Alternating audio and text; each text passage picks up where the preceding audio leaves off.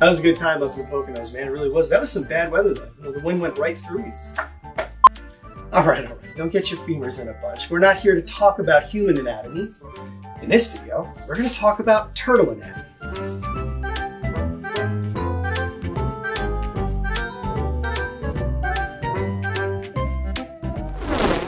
This is a redfoot tortoise, which is a turtle, because as we've learned in old videos, all tortoises are turtles. We're here to talk about the basics first and foremost, the parts of a turtle.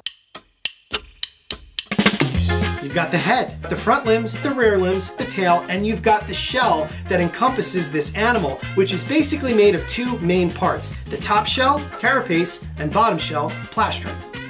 Turtles are virtually unchanged since the time of the dinosaurs, so you're literally looking at a primitive animal here. And when you think about it, what reason do they need to change? They are encompassed by something that can truly protect them from a lot of things. A turtle shell is a work of art and they do not grow out of their shells. You'd be surprised at how many people compare them to hermit crabs. Turtles do not leave their shells, their shells grow with them. They start off as cartilage and then they turn to solid bone. Since turtles are reptiles, being cold-blooded, and they are ectothermic, that means that they rely on external sources to regulate their body temperatures, and the shell enables them to do that in some cases rather quickly. They will bask in the sun, whether they're an aquatic species or terrestrial, and they will absorb that precious heat from the sun. In the case of some aquatic turtles, for example alligator snapping turtles, softshell turtles, mata mata turtles, they will rarely ever leave the water. So to make themselves warmer, they'll actually move themselves closer to the surface of the water where the sun's rays come through and can still warm them up. So they don't actually have to leave and go onto a log to bask if they don't want to. So this right here is the top shell, the carapace, the trait that a turtle is most well known for. What you're going to notice right off the bat here is this redfoot tortoise's scutes, which are the individual squares on a turtle's shell or plates, are raised. That's because she was raised inadequately. She was probably raised in an environment that was way too dry before we got her, which caused the keratin scutes to pyramid. Typically, when you look at the bone underneath that layer of keratin, you will see that the shell itself is still smooth the way it's supposed to be. These animals are not supposed to grow this way, but luckily for them, usually it's only cosmetic. So what I want you to see is what's underneath this layer of keratin. Okay, so we have the exact same species here, only this one unfortunately has passed on a long time ago.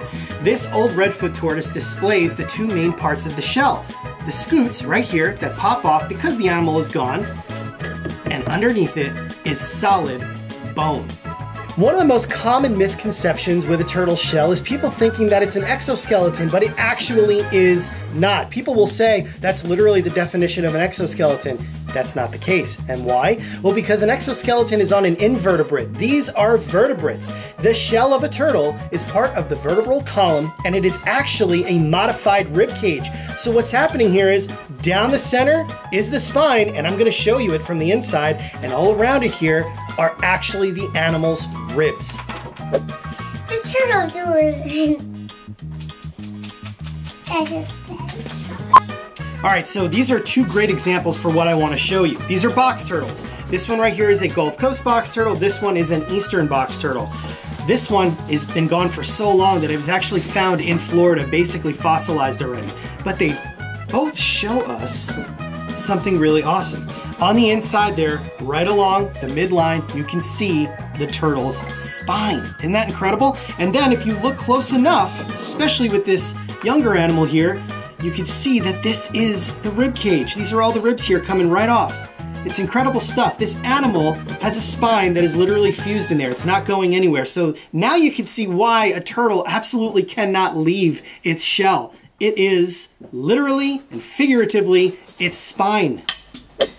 So, what about pancake tortoises and softshell turtles? Well, softshell turtles have a leathery skin over the bony plate of the shell, but they still have a spine and they still have a rib cage. So do pancake tortoises. Now, they have the keratin scutes and the bone underneath, that does exhibit the spine as well as the modified rib cage, but they are pliable. Their shells are not as hardened as some other species, even though parts of it are in fact bone. You'll especially notice that on the plastron. So when you look at the bottom of a pancake tortoise, you'll see right there, see how pliable that is? It's almost as though it would be squishy, right? A lot of people mistaken that for shell rot. That's not shell rot. That is the perfect evolution of this animal. This animal, because its shell is not as hard, has evolved to be able to expand its lungs, which then expands the entire body so it can stay jammed inside a tight rock crevice, which makes it nearly impossible for a predator to remove it. The structure of a turtle shell varies from species to species and it also goes with its habitat preferences. So tortoises, with the exception of the pancake tortoise, are typically going to be more highly domed, whereas something like a soft shell turtle or a painted turtle or even a slider are going to be flatter. They need to be able to streamline through the water. Think of a submarine. They have to be able to move quickly in an environment that is fully aquatic. Regardless, no matter what the shell is designed to look like as far as shape goes, if you will, they all possess the same traits. And right here, we have a marginated tortoise and we have a box turtle. These are the shells of animals that have left these gifts behind for us to learn from. So you will notice, even though this animal still has some of its scutes that actually are where the pattern that the animal uses to blend in with its environment are found, you will see that once the keratin scutes come off, there is bone. This animal has lost all of its scutes, but you can see two different things. You can see the bony plates and where the seams for those are, as well as the seams for each individual scutes. So what are the scutes called? The ones that go down the spine here, one, two, three, four, five, are the vertebral scutes. Makes sense because the vertebrae are right underneath there. The four on each side of the spine are the costal scutes. So one, two, three, four, one, two, three, four, those are your costals. The back plate here, that is your supracaudal shield. The small scute up front here, which is found in most species but not all, is the nuchal scute. And then the ones all around the edge are called the marginal scutes. On the plastron, which is the bottom shell, we also have scutes, and they are named gular, humeral, pectoral, abdominal, femoral, and anal. And just like on the carapace, when the keratin scutes are removed, underneath is solid bone.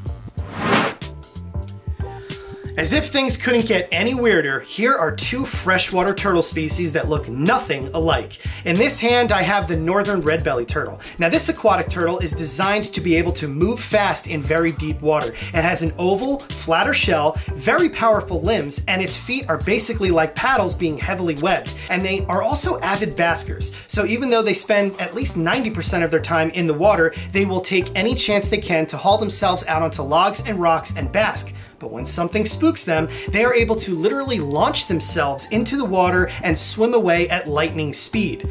The Mata Mata turtle is totally different. This animal uses an extreme method of camouflage to evade predation. They are designed to look like a log or leaves at the bottom of the water. They're not good swimmers. They don't occur in deep water typically and like shallow water where they will ambush their prey. They sit there and they use that snorkel nose to get air from the very surface of the water, but otherwise they stay motionless. An unsuspecting fish comes by and then boom, the turtle uses a suctioning method to suck in the fish and then that is that that.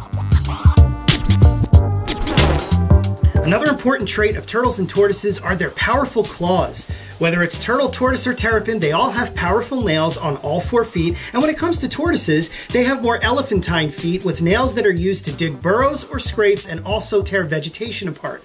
When it comes to turtles, they will have sharp claws, except for of course your sea turtles that have flippers. Right here is one of the main ways you can separate box turtles from tortoises, and that's because they have partially webbed feet and they have sharp claws. See that? Very sharp claws, in fact, and they will use those to tear apart both animal and plant matter. When you compare the feet of turtles and tortoises, you can really see the difference, and of course, tortoises have no webbing at all. There are many traits that we can discuss when it comes to these incredible animals, but one other thing that's worth noting is the presence of the cloaca on a turtle or tortoise. Now, what is a cloaca? Well, it is a common cavity that's at the end of the digestive tract where both waste and genital products are released. So not to get too graphic for you guys, this little area right here, this little opening in the tail is where everything comes out of. It's what they use to breed, it's what they use to poop and pee, and it's also where the eggs of the female come out. So, no matter the age of a turtle or tortoise, you are usually not going to see its genitals outside of the cloaca, except in some cases like when they are soaking or, of course, actively breeding. Once they reach a certain age, there are certain external characteristics that help set male and female apart. That's not what this video is about. So, what do we do when it comes to a young animal like this? This is a juvenile Galapagos tortoise that has many, many years ahead of it before we are going to even be able to guess if it's male or female. And that's because all young turtles and tortoises look like females. So, what veterinarians will actually do with younger animals like this is they will perform a surgical procedure called endoscopy and they will go in through the cloaca, usually with a little tiny camera, I believe, and they'll be able to look at the genitals internally to determine if the animal is male or female. But other than that, you absolutely cannot tell the gender of a young turtle or tortoise until it starts reaching that pivotal age or size where it shows the external sexual characteristics. Turtles and tortoises have powerful beaks. See that? They don't have teeth, but the beak is sharp and in some cases serrated.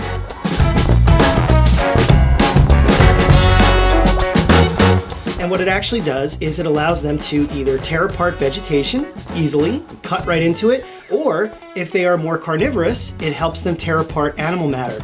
Or in the case of certain aquatic turtle species that will go after fish, once they grab the fish, they use both their sharp nails and sharp beaks to just tear the fish into a million pieces.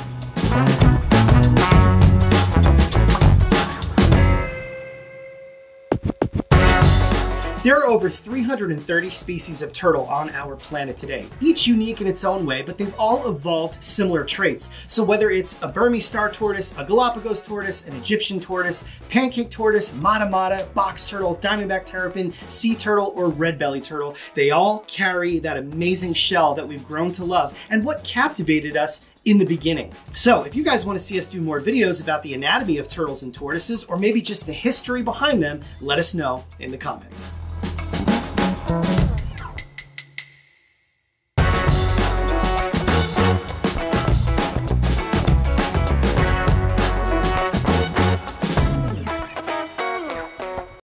Hey, why didn't the skeleton rob the bank? Because he didn't have the guts to do it. Dude, that doesn't bother you? I guess nothing gets under your skin.